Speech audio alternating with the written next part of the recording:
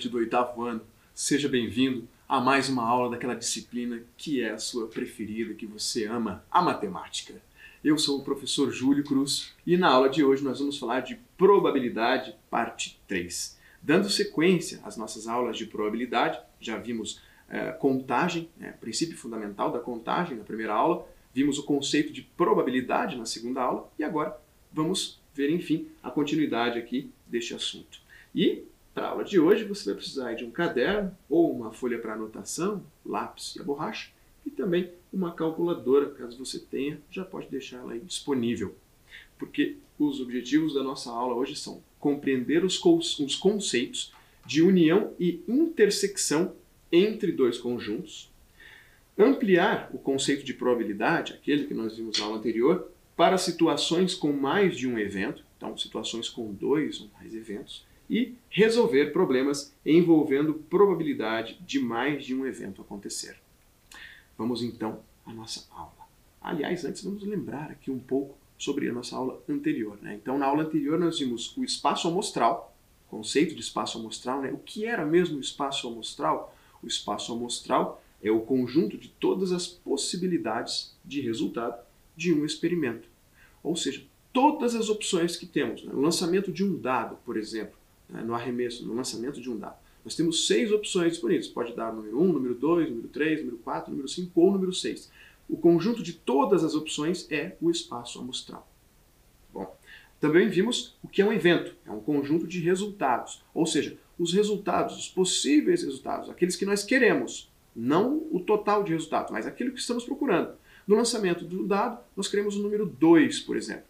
Então, nós temos um elemento que queremos apenas. Ou, uh, vamos mudar aqui a pergunta. No lançamento de um dado, queremos os números pares. Então, eu tenho ali o 2, o 4 e o 6. Qualquer um destes três serve para mim. Neste caso, o meu conjunto evento serão, então, os números 2, 4 e 6. Então, o evento é aquilo que eu estou procurando, aquilo que eu quero saber.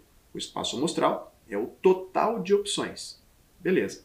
E o que é, então, a probabilidade? A probabilidade era a razão entre o evento, o número de, de elementos do evento e o número de, de elementos do espaço amostral. Né? Neste caso, em que eu acabei de citar um exemplo, no lançamento de um dado onde desejamos obter os números pares, qual a probabilidade de sair um número par? Então nós temos três elementos no nosso conjunto evento, né? o número 2, o número 4 o número 6. Pode ser qualquer um destes.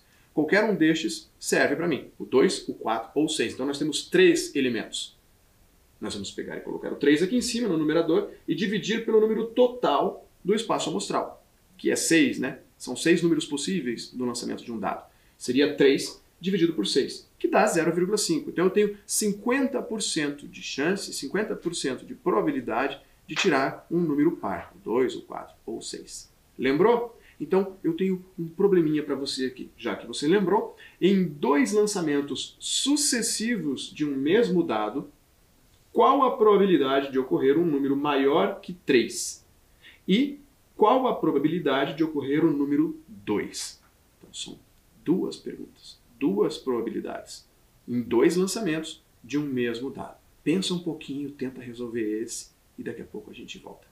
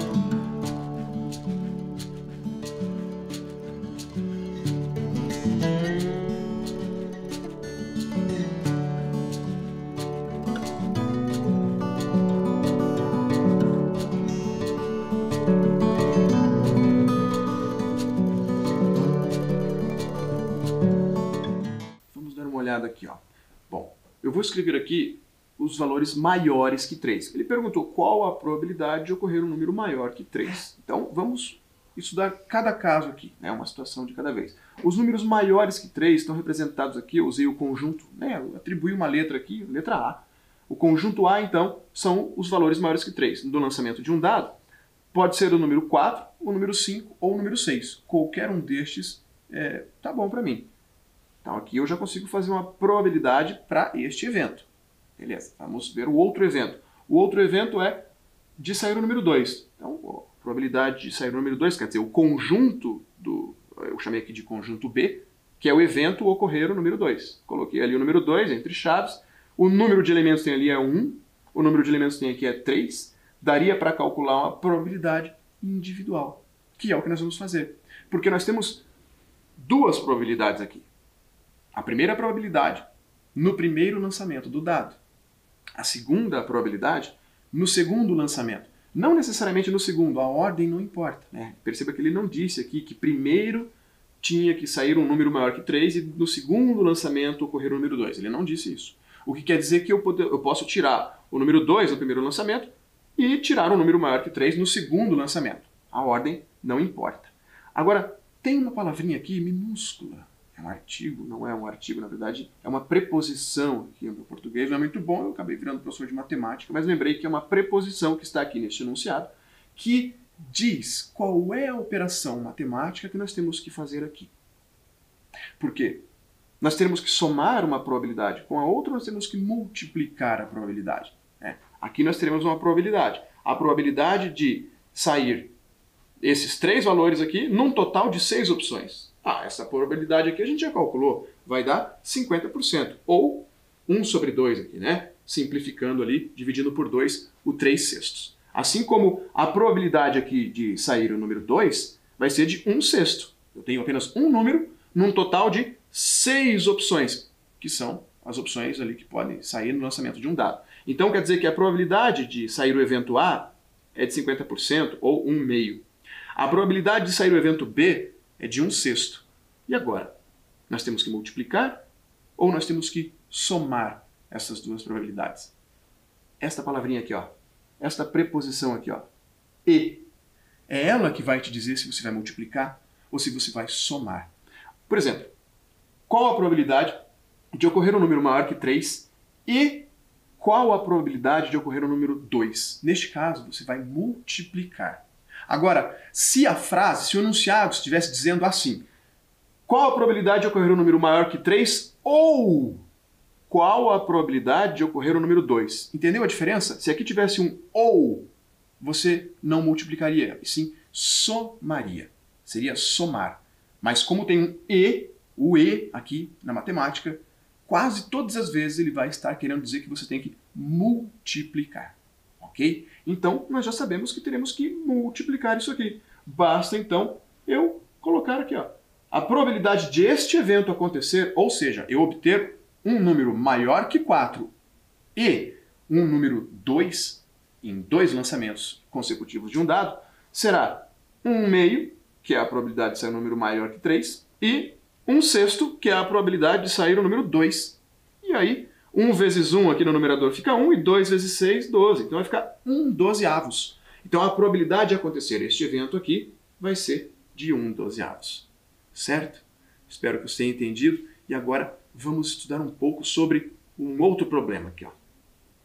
Em uma festa junina, ocorrida em uma escola, dentre as várias brincadeiras oferecidas, uma consistia de um sorteio o participante deveria retirar de uma urna, na qual havia 100 fichas numeradas, de 1 a 100. Uma única ficha. Então, tinham 100 fichas ali numeradas de 1 a 100. E o participante tem que tirar uma ficha. Se o número na ficha fosse múltiplo de 6, o participante ganharia uma bola de basquete. Caso o número fosse múltiplo de 10, ele ganharia um skate. Aí é a premiação da festa junina. Agora, no caso da ficha ter um número múltiplo de 6 e de 10 ao mesmo tempo. Então, o participante levaria os dois prêmios? Não, o participante poderia escolher entre a bola de basquete e o skate, mas tem que escolher apenas um, ou um ou outro. Não poderia levar os dois prêmios. Levando apenas um dos prêmios, então, em um único sorteio, qual a probabilidade, agora vem a nossa pergunta, a probabilidade de o participante dessa brincadeira não ganhar nem a bola e nem o skate. Percebeu que ele está perguntando uma outra coisa? Ele está fornecendo várias informações, mas ele pergunta o contrário daquilo. Ou seja, ele está fornecendo várias informações para que nós calculemos a probabilidade de ele ganhar a bola de basquete ou a probabilidade de ele ganhar o skate, ou os dois, né? ele não pode ganhar os dois, mas, mas retirar um número que seja múltiplo de 6 e de 10 ao mesmo tempo, mas ele pergunta a probabilidade de ele não ganhar. Antes de a gente resolver este probleminha aqui, vamos ter que dar uma revisada aqui em alguns conteúdos. Vamos lembrar aqui de união de conjuntos. Quando falamos de união de conjuntos, o que, que estamos querendo dizer? Bom, vou pegar aqui um conjunto, conjunto A, e neste conjunto aqui eu vou colocar os valores aqui. 1, 2, 3, 4, 6, 8, 9. Tá bom. Agora vou pegar aqui, é, vou representar este conjunto A através de uma sequência aqui numérica, né, mas em linha aqui, ou seja, dentro da representação de conjuntos entre chaves. Aqui eu tenho a representação de conjuntos de uma forma, num diagrama, né? é uma imagem, um desenho. E aqui nós temos a representação na forma de chaves, ali, entre chaves, né, em linha. O conjunto A é escrito com esses valores entre chaves. Agora eu vou fazer a mesma coisa para um conjunto B. Vou pegar aqui o conjunto B, números aleatórios, alguns que já tem aqui, outros não, né? o 4, 5, 6, o 7, o 10 e o 12. Também vou representar aqui entre chaves o 4, 5, 6, o 7, o 10 e o 12. Beleza. Agora, nós vamos fazer o seguinte, vamos unir esses dois conjuntos aqui. Bom, A união B. Tá aqui, ó. Este é o símbolozinho de união. Quando você enxergar esse símbolo, você sabe que estão unindo, né? A união B estão unindo dois conjuntos aqui. Peguei todos os números do conjunto A, 1, 2, 3, 4, o 8, o 9 e o 6, e juntei com todos os números do B e coloquei aqui, ó, todos os números do B, o 4, o 5, o 6, o 7, o 10 e o 12. Agora perceba que o número 6 está tanto no A quanto no B, assim como o número 4. Mas aqui na hora de escrever, eu não vou colocar duas vezes o número 4, também não vou colocar duas vezes o número 6. Coloquei apenas uma vez cada um deles, mesmo eles aparecendo tanto aqui quanto aqui. Ou seja, eu não preciso repetir o número, eu apenas vou unir. Então, se o 4 está aqui e aqui também, escrevo uma vez só. Basta para eu saber que um dos dois conjuntos tem o 4. Afinal de contas, este aqui vai ser o meu conjunto união. União do conjunto A com o conjunto B. Joia. Agora tem uma coisa interessante aqui, ó. Vamos juntar eles aqui. Você lembra quando nós estudamos lá no primeiro semestre sobre os diagramas de Venn? Aqueles exercícios que tinham às vezes dois conjuntos ou até três e que tínhamos que descobrir os valores dentro do, do, dos conjuntos? Pois é, isso aqui, um diagrama de Venn com dois conjuntos e aqui aconteceu uma coisa interessante. Como o 4 e o 6 estavam tanto no conjunto A quanto no conjunto B, eles ficaram aqui nesta parte, ó esta parte aqui, que é uma intersecção dos dois conjuntos. Dentro desta parte ficam os números que estão tanto no conjunto A quanto no conjunto B. Então, aqui eu juntei os dois conjuntos, mas né, apenas para você entender ali e enxergar essa intersecção. E aqui está escrito todos os valores, tanto do conjunto A quanto do conjunto B. Então, quando nós temos esse U de união, ele serve para dizer para você que nós temos que somar os elementos dos dois conjuntos na hora de colocar aqui. Somar no sentido é, pegar tanto de um quanto de outro. E esse U, ele também representa lá no português a palavrinha ou. Quando estamos falando de U, união, geralmente você pode associar a ou. Ou, então, elementos de um conjunto ou de outro conjunto. Vamos em frente aqui. Vamos ver agora a intersecção. Peguei aqui os mesmos dois conjuntos, certo? Temos aqui a intersecção. O símbolo de intersecção será este daqui, ó. É um U ao contrário. Então, se o U é o símbolo de união, o U virado de cabeça para baixo vai ser o símbolo de intersecção. E o que significa intersecção? Intersecção entre dois conjuntos significa pegar apenas aqueles elementos que estão nos dois conjuntos ao mesmo tempo. Certo? Então, uma intersecção entre dois conjuntos significa que você vai pegar os elementos, números, letras, qualquer que sejam os elementos, que estão presentes nos dois conjuntos ao mesmo tempo. Então, o conjunto intersecção A com B é apenas este conjunto aqui, ó, formado pelos elementos 4 e 6. Temos apenas esses dois elementos, né? porque apenas esses dois estavam presentes no conjunto A e no conjunto B inicialmente. Certo? Agora, olha só. Quando dois conjuntos não apresentam elementos em comum, dizemos que a intersecção entre eles é um conjunto vazio. Imaginemos que tivéssemos aqui 1, o 2, o 3, o 8 e o 9.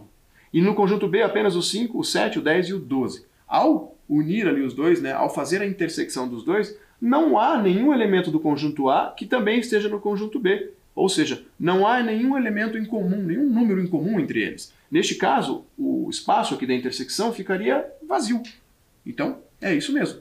Quando não tem nenhum elemento em comum entre os dois conjuntos, a intersecção entre eles vai ser um conjunto vazio. Entendido? Olha só, a representação para conjunto vazio, eu havia comentado na aula anterior, é essa daqui. Ó. Nós colocamos os dois, as duas chaves, da mesma maneira como, como aqui, porém não colocamos nenhum elemento ali dentro. Desta forma, estamos representando o conjunto vazio. Ok? Então vamos em frente. Conjunto complementar agora. conjunto complementar, olha essa, esse, essa, essa definição aqui. Né? Dados dois conjuntos A e B, temos que B está contido em A.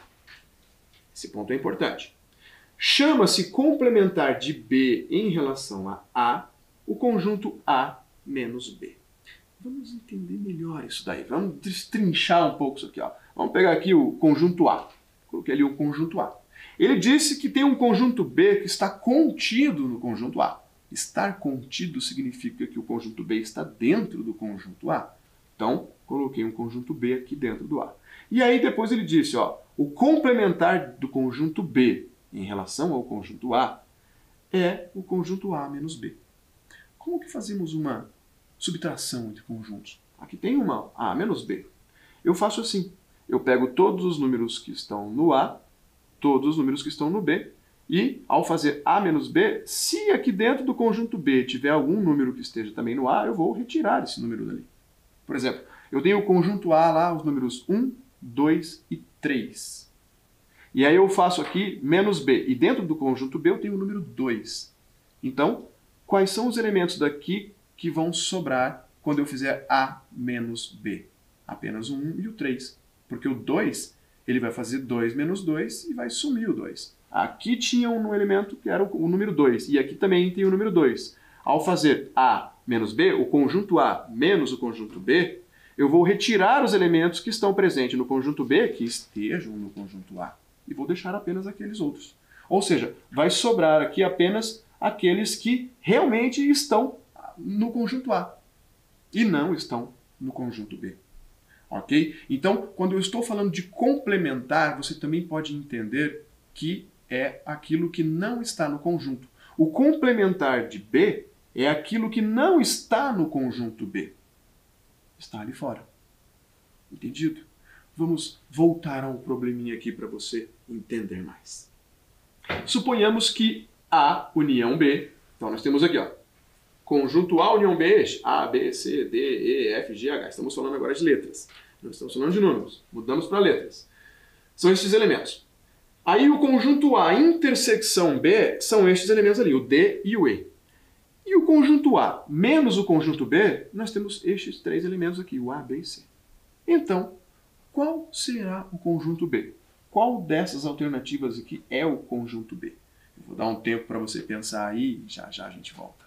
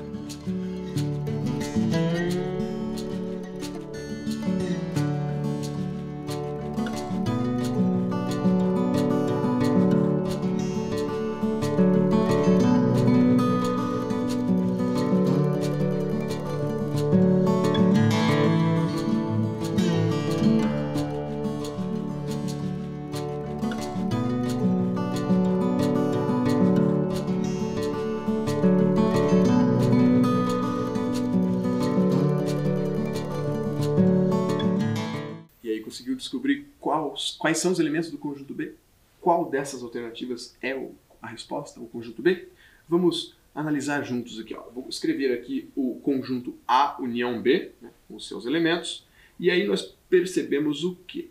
A união B, eu vou pegar todos os elementos que estão no conjunto A e todos os elementos que estão no conjunto B. Isso significa que aqui estão presentes todos esses elementos, tanto do A quanto do B nem todos aqui pertencem ao A e nem todos pertencem ao B. Certo? Agora vamos pegar um outro aqui. O A intersecção B, que é esse daqui, né? Conjunto tem dois elementos. Neste conjunto, nós conseguimos perceber o quê? Que estes dois elementos, tanto a letra D quanto a letra E, eles estão presentes tanto no conjunto A quanto no conjunto B. Eles estão nos dois conjuntos. Então significa que este D aqui, esse D aqui, estava presente tanto no A quanto no B. Agora vamos pegar o último aqui para analisar. Conjunto A menos o conjunto B. O conjunto A menos o conjunto B retirou de dentro das chaves todos aqueles elementos que são do conjunto B. Sobraram aqui apenas os elementos que são do conjunto A. Perceba que foi retirado aqui, inclusive, o D e o E, que estão presentes nos dois conjuntos. Significa realmente, então, que estes três elementos só pertencem ao conjunto A. Então, voltando para cá, significa que o H, o G e o F pertencem ao conjunto B. Primeiro, porque eles não estão contidos apenas no A. E nem ao mesmo tempo no A e no B. Não estão nem aqui e nem aqui. Então, quer dizer que se eles estão aqui na união dos dois, eles pertencem ao, apenas ao conjunto B certo? E, além deles, nós temos também estes dois elementos, que são a letra D e E, que pertencem aos dois conjuntos. Então, estão presentes também no conjunto B. Então, no conjunto B, nós temos o F, o G e o H e o D e o E. Enquanto que no conjunto A, nós temos o A, o B e o C e o D e o E também. Então, o conjunto B é formado pelo D, pelo E, pelo F, pelo G e pelo H, ou seja, a resposta, letra B. Certo? Tá ali. Vamos em frente. Agora, vamos voltar para o nosso problema lá do início. Eu trouxe aqui um resumo dele para a gente lembrar dele. Agora que nós já vimos união de conjunto, intersecção, né? vimos o que é um conjunto complementar, nós podemos responder aqui. Então, na festa junina, uma urna com 100 fichas numeradas, do número 1 até o número 100, e o participante deve retirar uma única ficha. Se o número da ficha for múltiplo de 6, o participante ganha uma bola, se for múltiplo de 10, ganha um skate. E ele está perguntando aqui qual a probabilidade do participante não ganhar nem a bola e nem o skate. Ou seja, ele está perguntando a probabilidade complementar. A probabilidade que está fora daquele conjunto que nós vamos calcular aqui, nós vamos descobrir qual é, é o conjunto para ganhar a bola e o skate.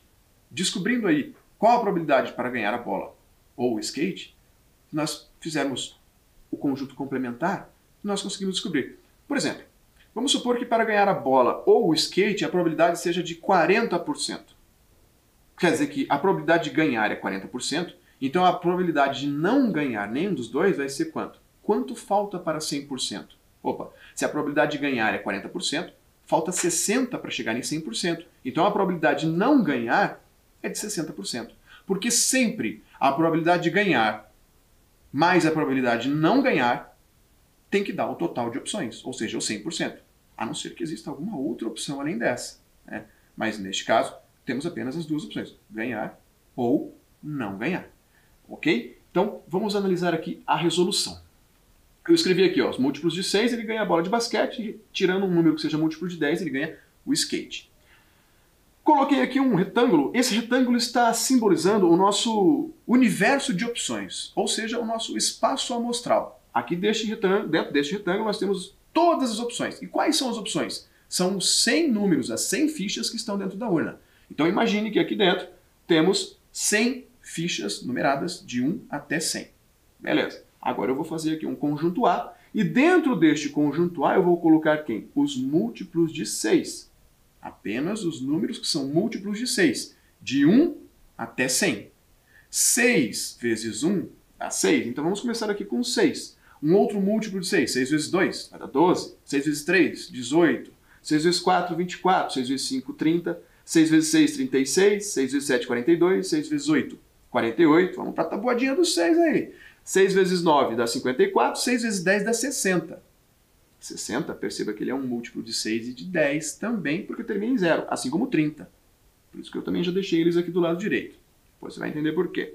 6 vezes 11 dá 66, 6 vezes 12, 72, 6 vezes 13, 78, 6 vezes 14 vai dar 84, e, 80, e 6 vezes 15, é, 90.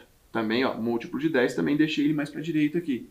E 6 vezes 16, para fechar, dá 96. Como ele pediu até os múltiplos, até, até são, são fichas numeradas de 1 até 100, o próximo aqui seria o 102 e passou de 100, então nós vamos utilizar apenas até esses aqui. Apenas estes e vai até o 96. Agora, vamos fazer aqui um conjunto B, e no conjunto B nós vamos colocar os números múltiplos de 10.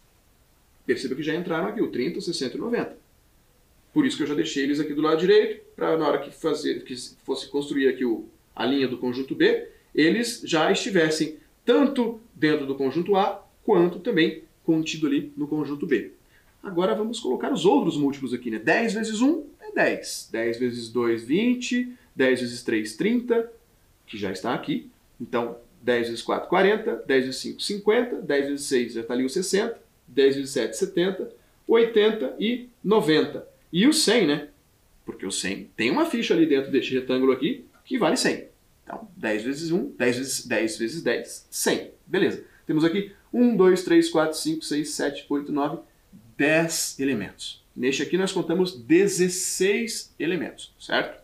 Então, agora eu consigo entender que a probabilidade que ele está perguntando ali no enunciado é a probabilidade de ele retirar um número que está presente aqui nesse espaço azul, azulado, roxo aqui, ó.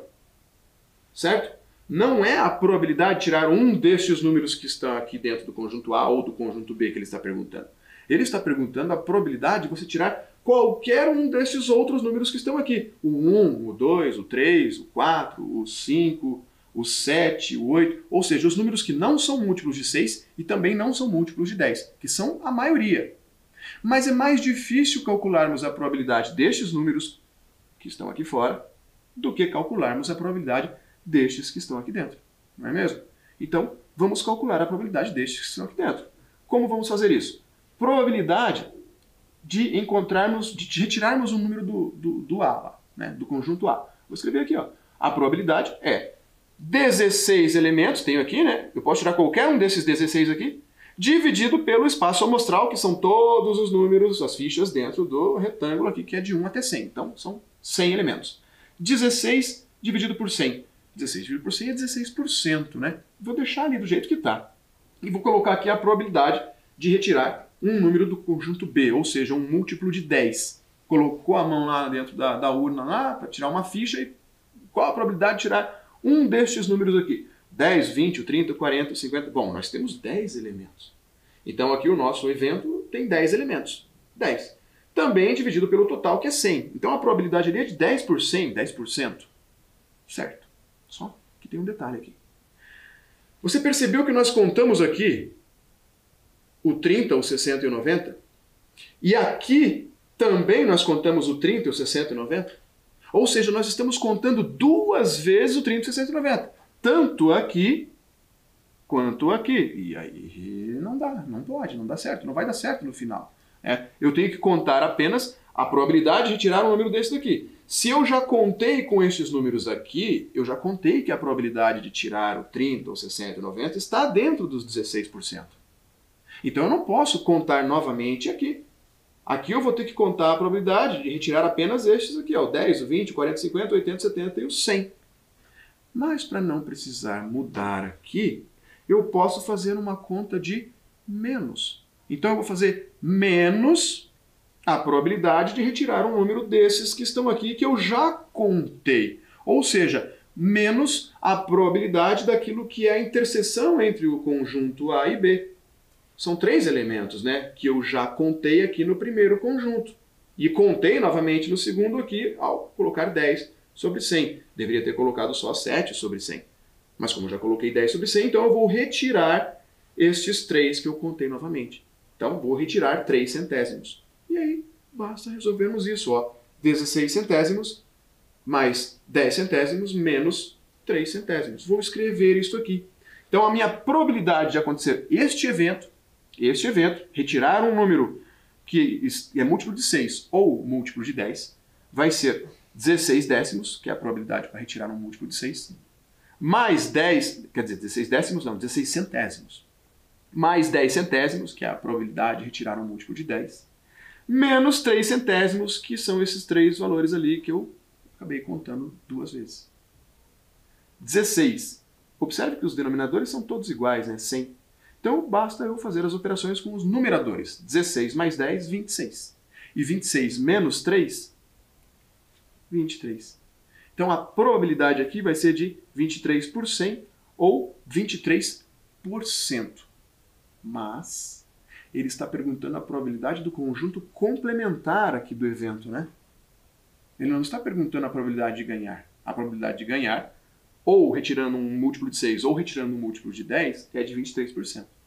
Então a probabilidade de ele não ganhar vai ser quanto? Ora, vai ser todos os outros por cento aqui até chegar em 100. Ou seja, 100 menos 23, a probabilidade de ele não ganhar vai ser de 77%. Somando a probabilidade de ele ganhar com a probabilidade de ele não ganhar, nós teremos aqui os 100% das fichas. Compreendido? Então agora é a sua vez. Este probleminha aqui é igual ao anterior. Então, vou deixar para você fazer. Os bilhetes de uma rifa são numerados de 1 a 100. Perceba que não mudou muito, né? Até os valores ali dos bilhetes são os mesmos qual a probabilidade do bilhete sorteado ser um número maior que 40 ou, lembra da palavrinha aqui, né? Ou número par. Quando for ou, você vai usar isso aqui, ou. É A união com B. Quando for E, lembra do primeiro exercício da aula? Quando for E, você vai multiplicar as duas probabilidades. Quando for ou, você vai somar aqui. E diminuir daquela que, porventura, você tenha contado duas vezes o número certo? Então eu vou dar um tempo para você pensar nessa e daqui a pouco a gente volta.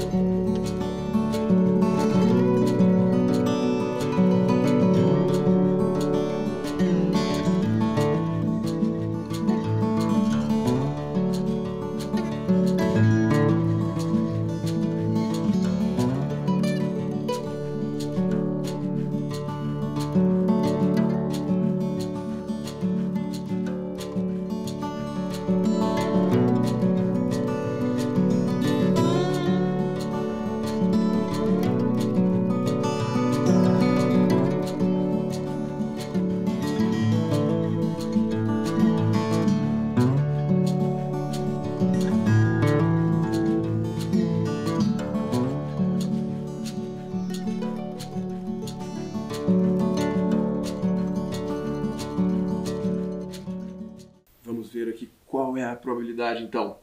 Bom, a probabilidade de acontecer o evento A. Vamos escrever quem é o evento A. O evento A é eu tirar a nossa rifa lá, né, o bilhete maiores que 40. Os bilhetes maiores que 40 são quem? O conjunto A, que é o 41, 42, 43, 44, até o 100. Nós temos fichas de 1 a 100. Então, o, conjunto A do 41 até o 100, maiores que 40. O conjunto B vai ser o evento número par. Quais são os... Ah, não, vamos calcular a probabilidade já aqui, né, antes. Ó, 41. Do 41 até o 100, temos quantos elementos? Temos 60 elementos. Então, 60 dividido pelo total, que são 100, já dá para entender que aqui é 60%. Então, agora sim, vamos colocar aqui o evento ocorrer um número par. Ocorrer um número par, chamei aqui de conjunto B. Dentro do conjunto coloquei aqui os elementos. Né? O número 2 é par, o número 4 é par, o número 6, o número 8, 10, 12, até chegar no número 100. A probabilidade vai ser o número de elementos. Quantos números pares nós temos de 1 até 100? Bom, 50, mas como sabemos que é 50? Porque é a metade, né? Se você pensar que de 1 até 100 nós temos 100 números, e metade deles são pares, e a outra metade é ímpar, então nós temos 50 números pares e 50 números ímpares. Logo, a probabilidade de sair um número par aqui seria de 50 dividido por 100, 50 centésimos ou 50 por 100, 50%. Né? Agora, perceba que eu contei duas vezes aqui o número 42, que ele é par, e é maior que 40, está aqui também. O número 44, o número 46, o número 48, o 50, o 52, todos os números pares maiores que 40, eu contei duas vezes, tanto no conjunto A quanto no conjunto B. Então nós temos que subtrair estes números agora na nossa probabilidade aqui é o conjunto A intersecção B. O conjunto A intersecção B são quais elementos? São todos aqueles acima de 40, maiores que 40, e que são pares. O 42, o 44, o 46, 48, 50, até o 100. Quantos elementos são? Olha só. No conjunto A nós temos quantos elementos? 60. Do 41 até o 100 são 60. Então, a metade destes são pares. A outra metade são os ímpares significa que nós temos 30 números pares e 30 números ímpares. Então está aqui. A porcentagem, aliás, a probabilidade do conjunto A interseção B é 30, que é o número de elementos que nós temos aqui, por 100, que é o total. Então 30%. Agora basta substituirmos na nossa expressão ali, né? na nossa equação ali. A probabilidade de A, 60%, está aqui a nossa equação, né? a probabilidade de A união B é a probabilidade de A mais a probabilidade de tirar o B, menos a probabilidade de A intersecção B. Então a probabilidade de A aqui ficou 100 sobre 100. A probabilidade de B, 50 sobre 100, menos a probabilidade da intersecção de A com B, que é 30 sobre 100. 60 mais 50 dá 110. E 110 menos 30 vai dar 80%. 80%. Certo? Esta é a probabilidade de ser retirado, ser sorteado ali um número maior que 40 e que ele seja ou, ou, ou par, né? Um número maior que 40 ou um número par. Certinho? Então, para terminar aqui, temos um probleminha. Em uma empresa existem 70 funcionários, distribuídos da seguinte forma: 44 homens, 10 mulheres com mais de 50 anos, 19 homens com mais de 50 anos e um funcionário será sorteado para ganhar uma viagem como parte do programa de premiação da empresa. Qual é a probabilidade do funcionário ser homem ou, olha a palavrinha aqui, hein? Ou ter mais de 50 anos? Vou dar um tempinho para você pensar e daqui a pouco a gente volta para corrigir.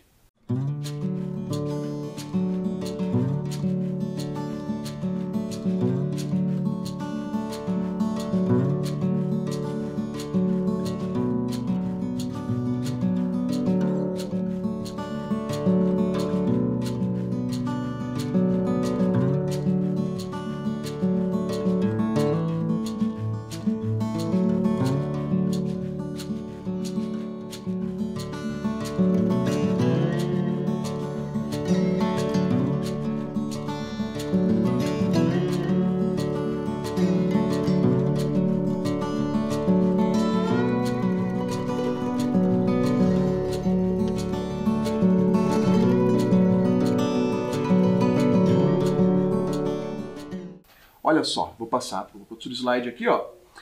Nessa fábrica você viu ali que nós temos 70 funcionários, né? Se você somar 44 mais 10 aqui, dá 54, 54 mais 19 já vai passar de 70. Porém, 19 homens com mais de 50 anos faz parte aqui dos 44. Mas se você somar 44 com 10, aqui não vai dar 70. Porque aqui tem também as mulheres com menos de 50 anos que elas não fizeram parte aqui do enunciado do problema. Tudo bem? E aqui a pergunta, né? Qual é a probabilidade do funcionário ser homem ou ter mais de 50 anos? Então, eu vou começar resolvendo escrevendo isso aqui, ó. A probabilidade do funcionário ser homem. Bom, são 44 homens dividido pelo total, probabilidade de 44 dividido por 70. Simples. A probabilidade do funcionário ter mais de 50 anos.